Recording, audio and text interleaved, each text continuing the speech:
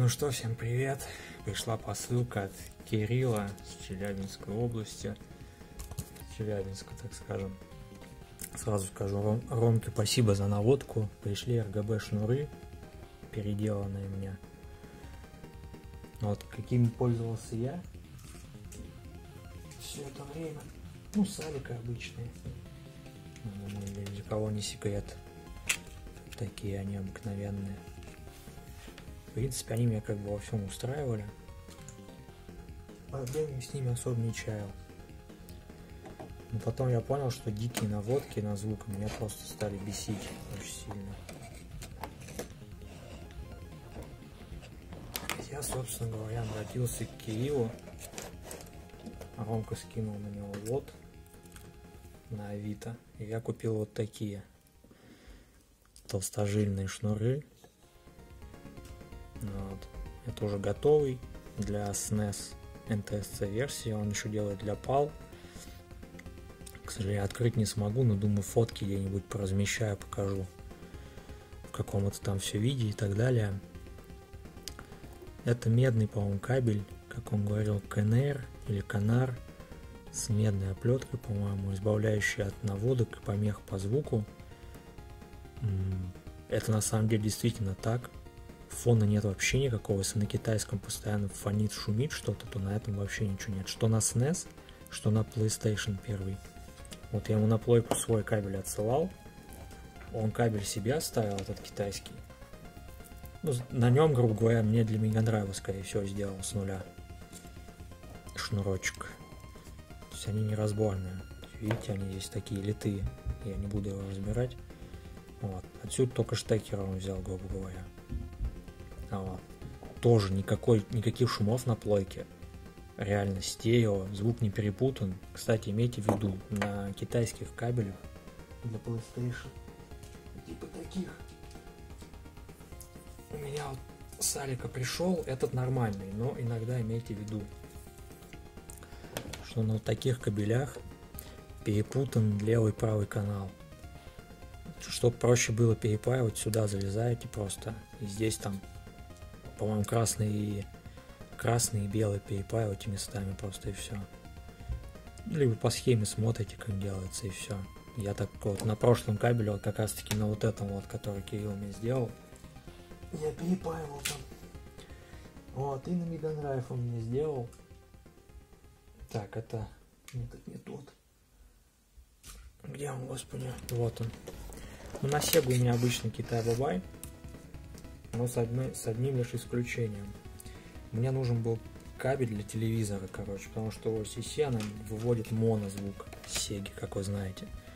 Вот здесь у нас идет монозвук со штекера.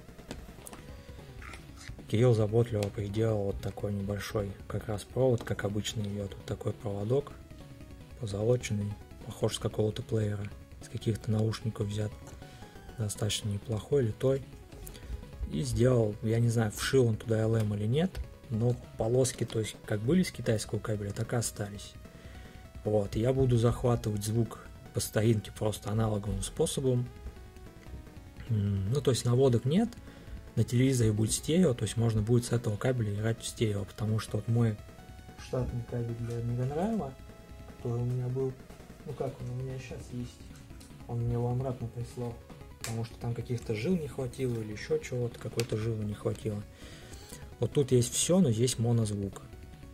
То есть, в принципе, можно с ним жить, можно этим кабелем пользоваться спокойно. Наводки идут, как бы, но с Mega Drive а лучшим способом для себя я делаю таким образом. Я выдаю картинку через AVerMedia ю, а звук захватываю через старый свой Beholder просто. В OBS, грубо говоря, добавляю еще один тюнер – и просто убираю его из вида, чтобы его не было видно, и все. Звук идет просто аналоговым способом через тюльпанчики. И все, это самый оптимальный вариант. То есть звук реально разница колоссальная. Я просто вот, я думаю, покажу вам сейчас, наверное, в конце ролика я просто футажи покажу, как оно просто фонит. Покажу тупо скриншотами, допустим, там, и звук вы послушаете, какие наводки шли очень, очень сильные. Я не знаю, может, с Sega тоже можно так сделать на самом деле, если кабель с нуля пересобрать. Но что-то я не видел ни у кого в продаже, чтобы вот кто-то с нуля на Mega Drive пересобирал кабель. Там на самом деле еще может быть не в кабеле дело. А... Альтмер, по-моему, показывал, там еще, если к самому процу подпаяться, найти у него три сигнала, то полос не будет вообще никаких. Даже вот самый китайский дешевый кабель подключите, уже не будет полосок. Тут как бы есть полоски на этом шнуре и на том, что он сделал, но он сделал хотя бы стерео, чтобы на телевизоре можно было играть, потому что на телевизоре, если ты выводишь, он же звук через HDMI берет, получается. А звук моно берется с приставки. А таким образом хотя бы стерео будет, можно играть будет на телевизоре, ну и стримить с него можно. Скорее всего, LM он поставил, потому что у него синхронизация, вот у такого кабеля синхронизация получается не 59, там, а 60 стало там. Но это как бы сути не меняет, но сам факт. В общем, вот такая вот история. Я очень доволен. На SNES и на PlayStation теперь гораздо комфортнее играть. Это от полтора метра. А сейчас я прочту, что там используется. Я, блин, принес телефон и забыл. Сейчас я вам зачитаю. Конкретно там используется. Сейчас у меня загрузится Авито.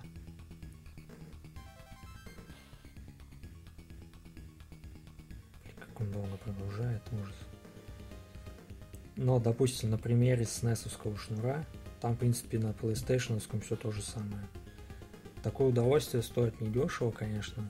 По 2000 он за кабель я отдал.